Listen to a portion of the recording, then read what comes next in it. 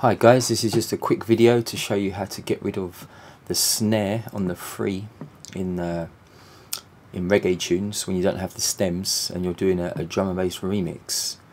So this is what it sounds like soloed.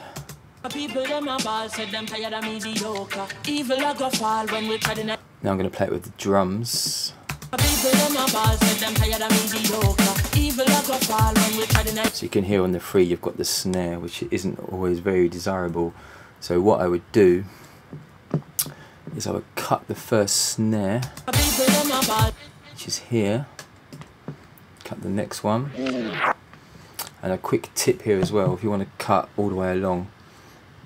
If I press command and alt and click it's going to cut out all the way across Right now what I do is I highlight them all and I do this with fades. So I do a bit of a fade in anywhere between 20 and 40 depending on the material. And you can see it's got rid of it a little bit. Sometimes it's good to put a bit of a curve on there too. I'll zoom in. Not too much. Just curves it up a bit Maybe just do a little fade out on the ends just in case there's a few clicks. Just around 6 should do it.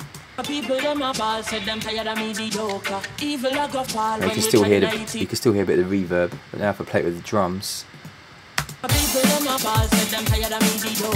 Evil a go fall when you try to Ethiopia Believing from down, cause them life no easy boat uh, Even one chance, it's not an easy So that's how it sounds now.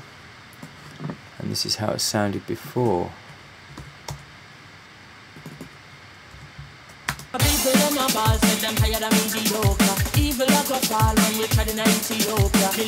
So you can clearly hear the difference. Put it back on again.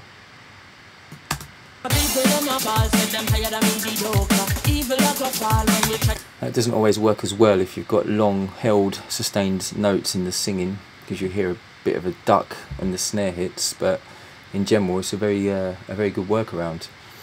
If you want more uh, tips and tricks on Logic then head over to Creative Live and I have a full workshop of myself showing you how to use Logic uh, the link will be in the description.